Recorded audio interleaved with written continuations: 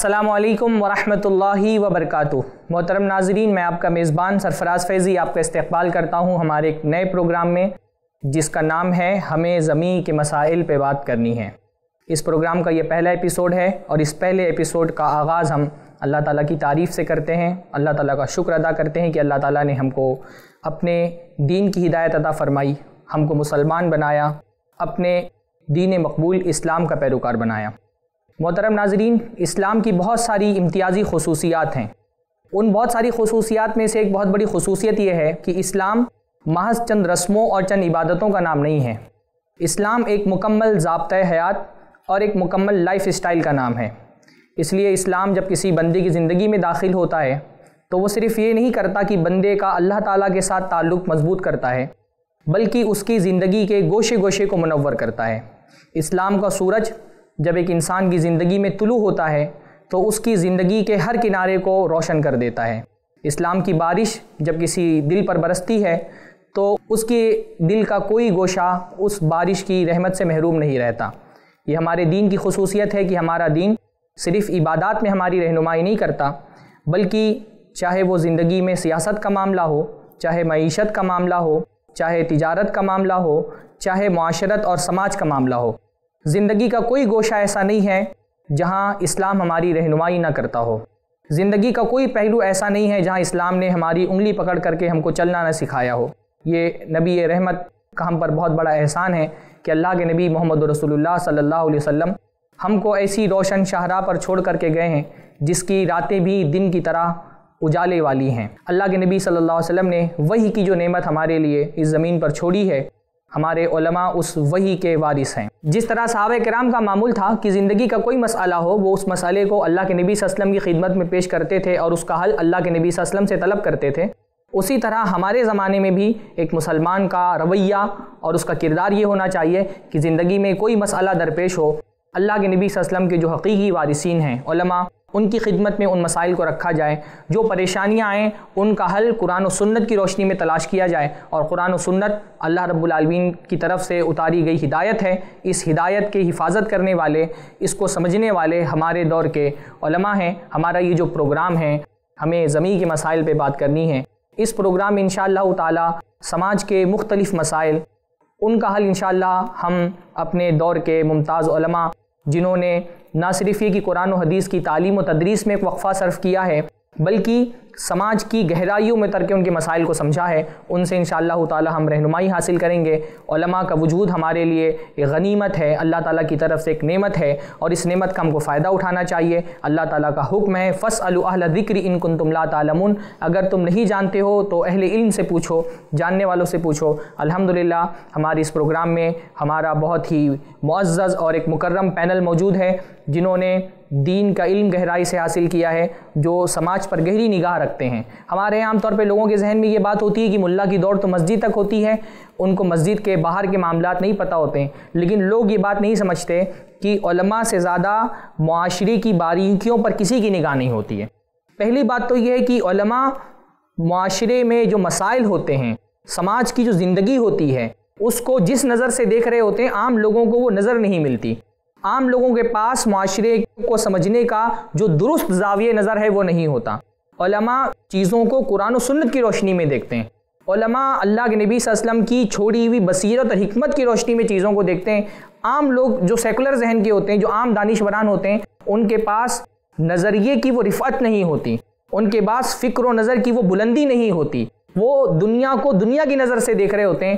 علماء کا یہ امتیاز ہوتا ہے کہ وہ دنیا کو دین کی نظر سے دیکھ رہے ہوتے ہیں۔ اور ایک مسلمان ہونے کی حیثیت سے ہمارا یہ ایمان ہے، ہمارا یہ عقیدہ ہے کہ زندگی کے ہر مسئلے کا حل اللہ تعالیٰ نے اپنی کتاب میں اور اپنے نبی کریم محمد رسول اللہ صلی اللہ علیہ وسلم کے فرمان میں رکھا ہے۔ ہمارا یہ عقیدہ ہونا چاہیے کہ زندگی میں اگر کوئی مسئلہ پیش آ رہا ہے تو اس کا مطلب کہ کہیں قرآن و سنت کی کسی حکم کی پامالی ہو رہی ہے جس کی وجہ سے مسائل پیش آ رہے ہیں۔ اس لیے قرآن و سنت کی روشنی میں ہی مسائل کا حل تلاش کرنا چاہیے۔ بہت معزز اور بہت مکرم، قابل احترام اہل علم کا پینل اس وقت ہمارے ساتھ موجود ہے۔ سب سے پہلے تو میری ذمہ داری یہ ہے کہ میں اسٹوڈیو میں اپنے اہل علم کا استقبال کروں، ان علماء اکرام کا استقبال کروں، جن کا وجود ہمارے لیے نعمت ہے۔ اور انشاءاللہ تعالی ہم اس پوری سیریز میں، اس پورے پروگرام میں انشاءاللہ تعالی ہم اہل علم کے سامنے مختلف مسائل رکھیں گے۔ ان سے سوالات کے جوابات مانگیں گے، ان سے مسائل کا حل طلب کریں گے، ان کی ہدایت اور رہنمائی چاہیں گے۔ سب سے پہلی تو میری یہ ذمہ داری ہے کہ میں اپنے اس پروگرام میں جو ہمارے شرکا ہیں، ان کا استقبال کروں۔ السلام علیکم ورحمۃ اللہ وبرکاتہ۔ وعلیکم السلام ورحمۃ اللہ وبرکاتہ۔ ہم آپ کے شکر گزار ہیں سب سے پہلے کہ آپ اپنا قیمتی وقت نکال کر کے ہمارے اس اسٹوڈیو میں تشریف لائے ہیں ان مسائل پر گفتگو کرنے کے لیے۔ محترم ناظرین سب سے پہلے تو میری ذمہ داری بنتی ہے ایک اینکر کی حیثیت سے کہ میں اپنے جو علماء ہیں ان کا تعارف کرا دوں۔ سب سے پہلے بہت ہی معزز اور مکرم شخصیت ہمارے درمیان موجود ہیں شیخ ابو العاص وحیدی حفظ اللہ۔ آپ کا نام علم کی دنیا میں معروف ہے۔ فقہی معاملات پر، سماجی معاملات پر، قرآن و سنت پر گہری نگاہ رکھنے والے علماء میں سے ہیں۔ استاذ الاساتذہ کی حیثیت ہے اور اس وقت الحمدللہ کلیت الصفا میں حدیث اور تفسیر کے استاذ ہیں۔ وہاں کے شعبہ افتاح کے ذمہ دار ہیں اور کئی ایک مقالات اور مضامین شیخ صاحب قلم ہیں۔ نہ صرف یہ کہ درس و تدریس میں عرصہ گزارا ہے اور شاگردوں کی ایک بڑی فوج تیار کی ہے، بلکہ صاحب قلم ہیں۔ آپ کے قلم سے نکلنے والے مضامین و مقالات ذہن و دماغ کو روشن کرتے ہیں۔ اہل علم اور طلباء عوام یکساں طور پہ شیخ کے قلم سے نکلنے والی تحریروں سے مستفید ہوتی ہے۔ یہ ہمارے لیے بہت خوش نصیبی کی بات ہے کہ شیخ نے اپنا قیمتی وقت ہم کو دیا اور یہاں اسٹوڈیو میں تشریف رکھتے ہیں۔ یہ اللہ تعالیٰ کی نعمت ہے کہ وہ اہل علم جن کے علم سے فیضیاب ہونے کے لیے لمبے اسفار درکار ہوتے تھے۔ الحمدللہ، آج وہ ہمارے ساتھ اسٹوڈیو میں موجود ہیں اور آئی پلس ٹی وی کے ذریعے سے ان کا علم آپ کے گھر تک براہ راست پہنچ رہا ہے۔ اس علم کی ہم کو قدر کرنی چاہیے، علماء کی ہم کو قدر کرنی چاہیے۔ علماء اس امت کے محافظ ہیں۔ ایسے ہی ایک صاحب علم شخصیت اور ہیں، شیخ عبدالشکر مدنی حفظہ اللہ۔ بہت معروف نام ہے معروف خطیب ہیں، معروف قلمکار ہیں۔ اس وقت بحیثیت دائی اور محقق اسلامک انفارمیشن سینٹر ممبئی سے منسلک ہیں اور ایسے ہی ایک بہت اہم شخصیت اور ہمارے زمانے کے بہترین قلمکار کئی کتابوں کے مصنف، خطیب آپ کے درمیان موجود ہیں، شیخ کفایت اللہ ثنابلی حفظہ اللہ، میں ان کا بھی استقبال کرتا ہوں۔ شیخ کفایت اللہ کی شخصیت آپ آئی پلس ٹی وی کے ناظرین کے لیے کوئی محتاج تعارف نہیں ہے۔ آئی پلس ٹی وی پر آپ کے مستقل پروگرام چلتے رہتے ہیں۔ شیخ، کئی کتابوں کے مصنف ہیں۔ اہل السنہ جو ایک ماہنامہ بہت مشہور ہے تحقیقی، اس کے ایڈیٹر ہیں۔ ہم اپنے تمام شرکا کا استقبال کرتے ہیں اور انشاءاللہ تعالی اپنے موضوع پر گفتگو کا آغاز کرتے ہیں۔ آج کا ہمارا موضوع ہے مساجد کی اہمیت اور اس کا مقام۔ انشاءاللہ تعالی مساجد کے حوالے سے شرعی حیثیت اس کی کیا ہے؟ اللہ کے نبی صلی اللہ علیہ وسلم کی سیرت میں مساجد کی کیا حیثیت تھی؟ سماج اور معاشرے پر مساجد کے کیا اثرات مرتب ہوتے ہیں؟ ایک فرد پر مسجد سے تعلق رکھنے سے اس کی نفسیات اور کردار پر کیا اثرات مرتب ہوتے ہیں مسجد کے؟ انشاءاللہ تعالی اس اہم موضوع پر ہم اپنے شرکا سے گفتگو کریں گے۔ سب سے پہلا سوال تو میں شیخ ابولاز وحیدی صاحب سے ہی کروں گا کہ شیخ، اسلام میں مساجد کی کیا اہمیت ہے؟ کیا مقام ہے اسلام میں مساجد کا؟ آپ نے بہت سے سوال کیا۔ اسلام میں مساجد کی بڑی اہمیت ہے اور اس کا اندازہ قرآن کریم اور حدیث کے نصوص سے معلوم ہوتا ہے، اندازہ ہوتا ہے۔ اور سیرت نبی پڑھنے سے بات معلوم ہوتی ہے۔ آپ دیکھیں کہ قرآن کریم میں بہت سی مسجدوں کا تذکرہ ہے۔ جیسے مسجد حرام ہے، مسجد اقصا ہے، اور بھی مساجد ہیں۔ قرآن کریم میں کئی جگہ بتایا گیا ہے کہ وان المساجد اللہ فلاں تدوم اللہ احدہ یہ مسجدیں اللہ کے لیے ہیں۔ ایک ہی اللہ کو پکارو۔ اور پیغمبر عالم جناب محمد رسول اللہ صلی اللہ علیہ وسلم نے ایک حدیث میں فرمایا ہے کہ خیر و بقائل ارض مساجد ہوا و شر و بقائل ارض اسواق ہوا یعنی زمین کے حصوں میں سب سے بہترین حصہ مسجد ہے اور سب سے خراب حصہ بازار ہے۔ اور آپ اگر دیکھیں تو یہ بہت بڑی بات ہے کہ جب پیغمبر عالم جناب محمد رسول اللہ صلی اللہ علیہ وسلم مدینہ تشریف لائے تو معاشی پریشانی تھی، رہنے کی پریشانی تھی لیکن آپ نے ہاں، جی جی جی جی چھوڑ چھاڑ کے لیکن آپ کو سب سے پہلے اللہ کے گھر کی تعمیر کی فکر ہوئی۔ جی۔ آپ دوسرے کے گھر میں رہ گئے۔ جی۔ صحابی رسول ابیب انصاری کے گھر میں رہ گئے۔ حالانکہ عام طور پہ ہوتا کیا ہے لوگ کہیں پہنچتے ہیں بمبئی شہر میں یا کہیں بھی تھوڑی سی کمائی ہوتی ہے سوچتے ہیں پہلے اپنا گھر۔ روم بنوا لیں رہنے کے لیے سر چھپانے کے لیے جگہ بنوا لیں۔ آپ نے اس کی فکر نہیں کی بلکہ آپ کو سب سے پہلے فکر ہوئی تو ایک مسجد کی تعمیر کی جی۔ مدینہ میں۔ اور اس مسجد کا تذکرہ کیسے تعمیر ہوئی کیا کیا قربانیاں دی صاحب کرام نے۔ جی جی۔ اور زمین یتیم بچوں کی تھی۔ اور بعض آثار سے معلوم ہوتا ہے کہ وہ لوگ زمین دینا چاہتے تھے خود بخود جی۔ لیکن آپ نے زمین خریدی ان کی۔ اور تو اس طرح سے اسلام میں مساجد کا بڑا اہم مقام ہے۔ یعنی مقام مساجد کا جی جی۔ ذکر قرآن مجید جی میں جی۔ آیا ہے جی اور جی اللہ کے رسول جی صلی اللہ جی۔ علیہ وسلم نے اس کو بہترین جی زمین جی کہا۔ جی۔ ہاں۔ اور یہ کی مسجد نبوی کی تعمیر اللہ کے نبی صلی اللہ علیہ وسلم نے سب سے پہلے کی ترجیحی بنیادوں پہ جی جی۔ حالانکہ مسائل بہت سارے تھے معاشرے بہت مسائل تھے جی۔ جی اور بھی چیزوں کی طرف جی، توجہ جی۔ دینے کی ضرورت تھی۔ جی۔ لیکن اللہ کے نبی صلی اللہ علیہ وسلم نے سب سے پہلے مسجد کی تعمیر۔ کی طرف توجہ دی۔ شیخ کفایت آپ کچھ نصوص کی روشنی میں مساجد کی اہمیت؟ خصوص کی روشنی میں ایک مشہور حدیث ہے جو ہم سب سناتے رہتے ہیں مسجد کی تعمیر کے سلسلے میں کہ اگر کسی نے زمین پہ اللہ کا گھر بنایا جی۔ تو اللہ تعالیٰ جنت میں اس کے لیے گھر بنائے گا۔ جی۔ تو اصل میں زمین میں ہم اپنا اپنا گھر بنانے کی فکر میں یہ بھول جاتے ہیں کہ مسجد ہم سے کتنی دوری پر ہے ہمارا اس سے کتنا تعلق ہے۔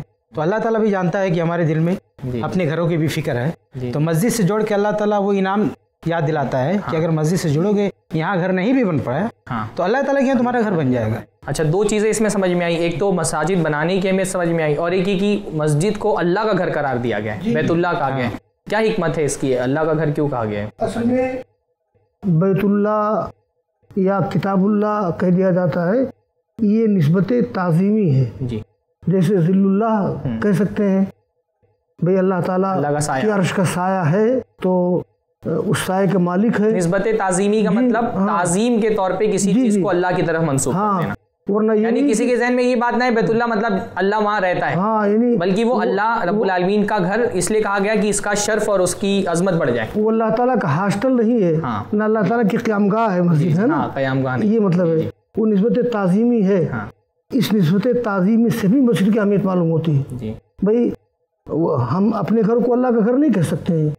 حالانکہ ہم ہماری روح ساری چیزیں اس کا مالک اللہ تعالیٰ ہے۔ سب کا مالک اللہ۔ لیکن ایک ہی وہ مسجد کو اللہ کا گھر کہا گیا ہے۔ اس سے بھی اس کی اہمیت کا اندازہ ہوتا ہے۔ جی۔ لہذا اس میں کوئی مذاکرہ نہیں ہے۔ جی جی حدیث میں کہا۔ آپ کچھ کہیں گے؟ جی میں یہ کہہ رہا تھا کہ مسجد کی اپنی اہمیت ہے اس کا مقام ہے مرتبہ ہے اور شاید اس کے لیے نصوص کی کمی نہیں ہے۔ لیکن ایک اہم نقطہ جو اللہ تبارک و تعالیٰ نے قرآن کریم میں ذکر کیا ہے کہ سب سے پہلی مسجد اللہ تعالیٰ نے ارشاد فرمایا ان اول بیت وضع للناس للذی ببکۃ مبارک وہدى للعالمین کہ سب سے پہلا گھر جو لوگوں کے لیے اللہ کی عبادت کے لیے بنایا گیا وہ گھر ہے جو مکہ میں ہے۔ اللہ تعالیٰ نے اس کی جو صفت بیان کی ہے وہ بہت اہم ہے مبارکن۔ ایک تو بابرکت ہے۔ جی۔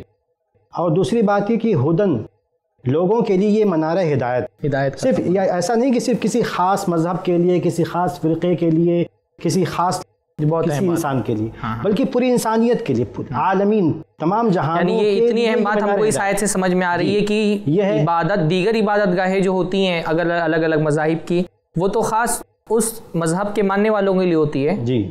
اور مسجد حرام کے بارے میں یہ بات کہی ساری انسانیت کے لیے جی۔ ہدایت کی اور جگہ ہے۔ پہلی مسجد کے وجود سے یہ اس کا کردار ہے۔ کردار ہے۔ اس کا ایک کردار ہے اس کی مرکزیت ہے کہ وہ تمام جہانوں کے لیے ہدایت کا جی جی۔ مینار۔ ہے یعنی جو مسجد میں خیر ہے برکت ہے اس خیر اور برکت کی روشنی صرف مسلم کمیونٹی تک کے نہیں پہنچتی ہے بلکہ اس خیر و برکت کی روشنی سارے دنیا۔ کے انسانوں کے لیے ہر مذہب کے ماننے والوں تک کے پہنچنی چاہیے۔ اسلام میں مسجد کا یہ تصور ہے۔ تو یہ اس کا مطلب دنیا کی تمام مساجد کا جو سلسلے نصب ہے اس کی سب سے پہلی کڑی خانہ کعبہ۔ ہے جیسے یہ نقطہ انسانوں بھی ہے نا۔ ہاں جیسے انسانوں کی جو نصب ہے وہ جا کر کے حضرت جی، جی، آدم سے ملتا ہے۔ ویسے مسجدوں کا جو نصب ہے وہ جا کر کے ہاں۔ ہاں، بہت اچھی بات الحمدللہ آپ نے کی۔ جی جی۔ ہاں۔ یہ شیخ کفایت صاحب ایک دو طرح کے لوگ دنیا میں ہوتے ہیں مسلم کمیونٹی میں خاص طور پہ۔ کچھ لوگ وہ ہیں جن کا مسجد سے کوئی تعلق نہیں ہے۔ کچھ لوگ وہ ہیں جن کا مساجد سے خصوصی تعلق ہوتا ہے عبادت کے بھی حوالے سے مسجد کی خدمت کے بھی حوالے سے۔ تو ایک مسلمان کا تعلق کیسا ہونا چاہیے مسجد سے؟ کیا تعلق اس کا؟ صرف یہ کہ نماز پڑھ لی آگے ختم معاملہ یا کوئی ایک الگ طرح کا رشتہ ہونا چاہیے مسجد سے؟ دیکھیے مسجد سے ہر مسلمان کا تعلق عبادت کے لحاظ سے بھی اور دوسرے مسائل کے لحاظ سے بھی بہت مضبوط ہونا چاہیے۔ جی۔ عبادت کے لحاظ سے اگر دیکھنا چاہے تو صحیح بخاری کی بڑی مشہور حدیث ہے۔ ظلم اللہ وم اللہ ذلہ اس میں سات لوگ ہیں جن ہاں، کو۔ اللہ تعالیٰ کے عرش کا سایہ ملے اس میں ایک قسم جو ذکر ہے کہ رجل قلبہ معلق بالمساجد۔ سبحان اللہ۔ جی تو اس سے اندازہ کر سکتے ہیں کہ یعنی ایک ایسا آدمی جس کا دل مسجد سے جڑا ہوا رہتا ہے اللہ تعالیٰ قیامت کے دن اپنے عرش کے سائے میں اس کو جگہ دے گا۔ یہ بہت بڑی بات ہے۔ یعنی صرف یہ نہیں کہا گیا کہ وہ عبادات ہی ادا کرتا ہے بلکہ اس کا دل تو مسجد میں ہی لگا رہا ہے۔ مسجد میں لگا رہے ہیں قلب جو ہے وہ اس کا میلان مسجد یعنی ایک مسجد سے صرف ایک جسمانی رابطہ نہیں ہونا چاہیے بلکہ ایک جذباتی رابطہ ہونا چاہیے۔ ہے نا؟ کیونکہ دل جو ہے وہ تو جذبات کا مرکز ہوتا ہے۔ تو یہ تو یہ ایک چیز ہے عبادت کے تعلق سے۔ سے نکلنے کے بعد ہم نے جو جو پڑھ کے نکلے ہم۔ جی۔ ہمارے دل میں جذبہ رہے کہ اصل میں پہنچنا ہے۔ ہاں۔ یہ مطلب دل لگا رہنے کا۔ ہے جیسے کسی کی یاد جی، تڑپاتی جی، ہے بھائی جو تو محبت ہوتی ہے تو اس کی یاد تڑپاتی ہے تو یعنی دل مچلتا رہے کہ ہم کو کب مسجد میں جانے ملے۔ ایسا آدمی اگر ہے اس کا مطلب نہیں کہ آدمی دنیا دنیا کی سرگرمیوں سے بالکل پھر جائے جی جی۔ برشتہ ہو جائے ایسی بات نہیں ہے۔ یعنی اس کا دل بنیادی طور پر جڑا ہوا ہو مسجد سے ہے نا؟ ہاں۔ تب آدمی کی نماز نہیں ضائع ہوگی ہے نا؟ جی۔ دوسری چیز یہ آج ہر آدمی سوچتا ہے ہمارا اسٹیٹس تھوڑا ہائی ہو بہتر ہو۔ جی جی۔ تو آج کسی آدمی کے اسٹیٹس کو طے کرنے کے لیے مسجد سے اس کے تعلق کو معیار بنانا چاہیے۔ بالکل۔ جی جی۔ اللہ رب العالمین قیامت کے دن جی، جی۔ جنت کس کو دینا ہے؟ جہنم۔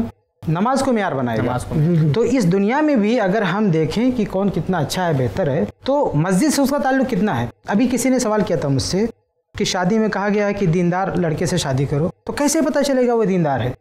بڑا تعجب ہوتا ہے اس سوال پر کہ آپ پوچھتے ہو کیسے پتہ چلے گا دیندار ہے؟ آپ پتہ کرو مسجد سے اس کا کتنا تعلق جی یہ تعلق جواب دے گا کہ وہ کتنا دیندار ہے۔ اور جب مسجد سے اس کا تعلق مضبوط ہوگا خاص طور سے نماز تو نماز اس کے سارے برائیوں کو ختم کرے گی۔ بالکل بالکل۔ تو بہت اچھا آدمی اچھا اسٹیٹس طے ہوگا اس کے تعلق کو دیکھ کے۔ تو یہ ہمارے ناظرین کو سمجھنا چاہیے بلکہ بہت اہم رہنمائی ہے کہ وہ لوگ جو اپنی بچیوں کے لیے رشتہ تلاش کر رہے ہیں اور ان کو یہ فکر ہوتی ہے کہ ہم دیندار لڑکوں کو ڈھونڈیں تو آپ مسجدوں میں اپنے بچیوں کے لیے رشتہ تلاش جی کریں۔ آپ دیکھیں کہ کون سے لڑکے مسجد سے جڑے ہوئے ہیں اور وہاں پر انتخاب کریں ویب سائٹ پر جانے کے بجائے اور یہاں وہاں کے فورم جو شادی لگانے کے ہوتے ہیں وہاں گھومنے کے بجائے آپ اپنے لیے داماد مسجدوں میں ڈھونڈیں۔ بات ایک مجھے ذاتی تعلق سے بیان کرنی تھی کہ مومن کا تعلق مسلمان کا تعلق مسجد سے کیا ہوتا ہے؟ جی۔ دراصل اس کو دیکھا جائے اس کا دوسرا بھی معنی ہے جو اس کی پوشیدہ ہے یا ظاہر ہے لیکن کبھی کبھی سوچنے پہ نظر آتا ہے کہ مسجد سے تعلق اصل میں کس سے کسی گھر سے تعلق کیا ہوتا ہے؟ صاحب مکان سے تعلق۔ صاحب مکان سبحان اللہ بہت اچھی بات ہے۔ یعنی کسی آپ آپ جو ہے ہاں اس کے اینٹ اور گاروں سے تھوڑی تعلق نہیں ہے۔ ہے یعنی ایک اگر کوئی بہت کوئی بادشاہ ہو آپ کو بلاتا ہے تو آپ اس کے پاس جاتے ہیں۔ یہاں تو بادشاہوں کا بادشاہ آپ کو پانچ ٹائم بلاتا ہے۔ بلا رہے ہیں یہ جو آپ جو مسجد میں جاتے ہیں یہ گویا کہ آپ اللہ تعالیٰ سے محبت کا اظہار کر رہے ہیں جی کہ رب تو نے مجھے بلایا ہے تو میں تیری فرما برداری میں آ رہا ہوں تیرے آ رہا ہوں۔ اور پھر وہ تو جو ہے ایک تڑپ جو اپنے محبوب سے ملنے کی اچھا اب اس سے آپ نے جو بات کہی اور وہ جو حدیث کے اندر آیا ہے کہ ایسا بندہ جس کا دل جڑا رہتا ہے مسجدوں سے اس کو اللہ عرش کے سائے کے تلے جگہ دے گا۔ کیونکہ جس کا دل مسجد سے جڑا ہے اس کا دل اللہ سے جڑا ہے۔ اور وہ جیسے ایک محبوب کے لیے تڑپتا ہے آدمی کہ اس سے کب موقع ملے بات کرنے کا۔ تو یہ کہا جائے اگر الفاظ کے کھیل کے ساتھ کہ ہاں۔ بندے جیسے تو نے دنیا میں میرے گھر کے سائے میں تو رہا ہاں۔ آج میں یہاں کے قیامت میں عرش کے سائے کے نیچے۔ سبحان اللہ کیا بات ہے؟ یعنی تو نے کیونکہ دنیا میں میرے گھر کا سائے کو اپنا آماج گاہ بنائی اپنا رہائش گاہ بنائی تو اب یہاں آخرت میں بھی میں تجھ کو اپنے عرش کے سائے سے محروم نہیں کروں گا یہ شیخ چونکہ ذکر الہی کا بڑا عام ذریعہ ہے تو ایک روایت میں آتا ہے غالب بخاری مسلم کی روایت ہے کہ جب کوئی انسان مجھے اپنے دل میں یاد کرتا ہے فاسکرو فی نفسی میں اس کو اپنے دل میں یاد کرتا ہوں۔ وہ اذا ذکرنی فی ملین ذکر تو فی ملین خیر من ہو۔ جب میرا بندہ مجھے کسی محفل میں یاد کرتا ہے تو اس سے بہتر محفل میں یاد کرتا ہوں۔ تو مطلب یہ ہوا کہ ہم جب اللہ کو یاد کریں گے انفرادی طور پر اجتماعی طور پہ اللہ تعالیٰ ہم کو یاد کرے گا۔ بہت بڑی فضیلت ہے۔ جی۔ اور اللہ تعالیٰ کی یاد کا اہم ذریعہ مسجد ہے۔ جی۔ یعنی ہم کو یہ بات بھی سمجھ میں آتی ہے کہ نماز جیسی اعلیٰ عبادت کو اللہ رب العالمین نے مسجد سے جوڑا ہوا ہے۔ یعنی مسجد اللہ سے تعلق قریب ترین جو تعلق بندے کا ہوتا ہے وہ مسجد میں ہی بنتا ہے۔ تو یہ کتنی اہم ترین بات ہوگی آپ بھی کچھ شیخ عبد الشکر بولنا چاہ رہے ہیں وقت ہمیں ہمارے شادی موقع مناسب ہوگا یا بعد میں لیکن بہرحال نقطہ ذہن میں یہ تھا۔ تو اس میں ایک بات یہ تھی کہ عام طور پر ہمارا نصوص کی روشنی ہی میں ذہن بنتا ہے یہ کہ ہمیں فرائض جو ہے مسجد میں ادا کرنے چاہیے اور سنتیں اور نوافل ہمیں گھر میں ادا کرنے چاہیے۔ جی۔ لیکن ایک دوسرے ایسے نصوص بھی ہیں کئی نصوص جو قرآنی نصوص بھی ہیں اور حدیثی نصوص بھی ہیں بتاتے ہیں کہ ہمیں مساجد کو آباد کرنا چاہیے ذکر و اسکار سے قرآن کی تلاوت سے۔ جیسے ایک حدیث میں آتا ہے کہ نبی نے فرمایا یعنی آپ یہ کہنا چاہ رہے ہیں کہ صرف فرض عبادتوں کے لیے مسجدیں نہیں ہیں۔ نہیں نہیں یہ تصور اگر ہے اگر کسی کے ذہن میں تو غلط جا رہا ہے۔ جی کہ نہیں اس میں ایسے نصوص ملتے ہیں کہ قرآن کی تلاوت کے لیے مسجد میں آیا جائے اللہ تعالیٰ کے ذکر کے لیے مسجد میں آیا جائے اور انشاءاللہ آگے باتیں اور بھی آئیں گی۔ لیکن بہت ساری عبادتوں کے لیے ترغیب دی گئی ہے کہ انسان مسجد میں آ کر نفلی عبادتیں ادا کرے۔ نفلی عبادتیں جیسے کوئی نصوص آپ بتا دیں کوئی ایک حدیث جیسے ایک مشہور حدیث ہے کہ آپ نے فرمایا کہ افلا یقدو احدکم الی بیت من بیوت اللہ کہ تم میں سے کوئی آدمی اللہ کے گھروں میں سے کسی گھر میں جائے اور ایک آیت پڑھے تو اس کے لیے بڑے کوہان والی اٹھنی سے بہتر ہے۔ ایک آیت پڑھنا مسجد میں جا پڑھنا اچھا اس میں خاص طور پہ مسجد میں جانے کا مسجد میں۔ ذکر وہی میں گیا مسجد میں ذکر کیا گیا کہ مسجد میں جا کر ایک آیت پڑھے جبکہ وہ آیت گھر میں بھی پڑھ سکتا ہے اور شاید گھر میں پڑھنا ہمیں ذہن میں بات آ سکتی ہے کہ گھر میں پڑھنا شاید ریا سے محفوظ کرنے کا اہم ذریعہ ہو۔ مسجد میں دوسرے لوگ اور مسجد میں دوسرے لوگ دیکھیں گے جاتے ہوئے بھی پڑھتے ہوئے بھی۔ لیکن پھر بھی نبی نے ہمیں ترغیب دی ہے کہ انسان مسجد کو آباد کرے وہاں جائے۔ اللہ تعالیٰ کے کلام فرض نمازوں میں۔ ہی نہیں ہاں۔ بلکہ اللہ تعالیٰ کے کلام کی تلاوت کے لیے بھی حدیث میں اور حدیث میں آتا ہے مجتمع قوم فی بیتی من بیوت اللہ۔ جب جی، کوئی۔ قوم اور کچھ لوگ اللہ کے گھروں میں سے کسی گھر میں اسی طرح اللہ تعالیٰ نے قرآن میں ذکر کیا کہ بیوت اذن اللہ ان ترفع ویذکر فیہا اسمہ۔ جی جی۔ کہ مسجدوں میں جو ہے اللہ تعالیٰ کا نام ذکر کیا جاتا نام ذکر کیا جائے۔ اور بلکہ وہ تو اچھا ایک ایک بات میں ذرا عرض کر ہے دوں۔ جی جی۔ اصل میں آپ نے جو بات کہی ہے اس کا ایک فائدہ بھی ہے۔ ویسے تو بہتر ہے کہ گھروں میں نفل کام کیا جائے۔ جی لیکن ترغیب و اصلاح کا ایک فائدہ ہے مطلب دوسروں کو ترغیب بھی ہوتی ہے نا یہ بھی اسی لیے اسی لیے ترغیب کے لیے کبھی کبھی صدقہ و زکوٰۃ کو ضائع کرنا ضروری ہوتا ہے یعنی لوگوں کو دکھا کر کے ہاں، صدقہ جی، جی۔ کرنا چاہیے جی، جی۔ تاکہ دوسروں کو ہاں۔ محترم ناظرین مسجد کا ایک اسلامی معاشرے میں بہت اہم کردار ہوتا ہے اس کردار کے دو پہلوؤں پر آج کے ایپیسوڈ میں ہم نے گفتگو کی۔ پہلا یہ کہ مساجد کی اہمیت ہمارے دین کے اندر کیا ہے، اور دوسرا یہ کہ ایک مسلمان کا تعلق مساجد سے کیسا ہونا چاہیے۔ موضوع بہت وسیع ہے، اس کے بہت سارے پہلو ہیں جن پر گفتگو کرنا چاہیے، اور انشاءاللہ تعالی اہل علم کے ساتھ بیٹھ کر کے ہم ان تمام پہلوؤں پر اپنے اس پروگرام میں گفتگو کریں گے۔ فی الحال اس ایپیسوڈ کے لیے وقت ہمارا ختم ہوا ہے۔ میں اپنے مہمانوں کا بہت شکر گزار ہوں کہ انہوں نے اپنے علم سے، اپنے تجربے سے، جو ظاہر سی بات ہے کہ سالوں کے مطالعے اور محنت کے نتیجے میں ان کے پاس جمع ہوا ہے، مختصر وقت میں ہم کو مستفید کیا۔ انشاءاللہ تعالی اگلے بھی موضوعات پر گفتگو ہوگی، مختلف پہلوؤں پر بات چیت ہوگی، اہل علم آپ کے حضور میں حاضر ہو کر کے انشاءاللہ تعالی اپنے علم سے مستفید کریں گے۔ فی الحال آپ سے اجازت چاہتے ہیں، انشاءاللہ تعالی اگلے ایپیسوڈ میں پھر ملاقات ہوگی۔ ہمارے یہ جو پروگرام کا سلسلہ ہے، اس کو آپ ٹی وی چینل پر دیکھ رہے ہیں، بہت اچھی بات ہے۔ اگر آپ یوٹیوب چینل پر دیکھنا چاہتے ہیں تو آپ ہمارے چینل پر تشریف لائیں، آئی پلس ٹی وی کے یوٹیوب چینل پر، اس کو سبسکرائب کریں۔ اور یہ اتنے بڑے اہل علم ہمارے ساتھ الحمدللہ موجود ہیں۔ اور ان اہم مسائل پر کیونکہ گفتگو ہو رہی ہے تو بہت ضروری ہے کہ ان مسائل کو دوسروں تک بھی پہنچایا جائے، کہ علم جو آپ تک پہنچ رہا ہے، مسلمان کی ذمہ داری ہے کہ علم حاصل کر کے عمل کریں۔ اور عمل کے بعد کا مرحلہ ہوتا ہے دعوت کا۔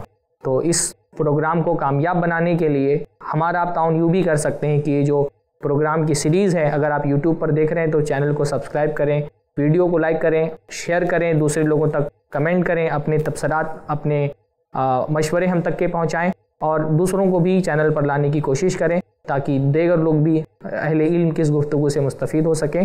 اب ہم آپ سے اجازت چاہتے ہیں، اگلے ایپیسوڈ میں پھر اس موضوع کے مختلف پہلوؤں پر آپ کے ساتھ ملاقات ہوگی۔ تب تک کے لیے اجازت دیجیے السلام علیکم ورحمۃ اللہ وبرکاتہ۔ سچ بات لوگوں تک پہنچانے میں آئی پلس ٹی وی کی مدد کریں۔ پیٹریون میں آئی پلس ٹی وی کے سپورٹر بنیں۔ ایسے ہی اور ویڈیوز بنانے میں ہماری مدد کریں۔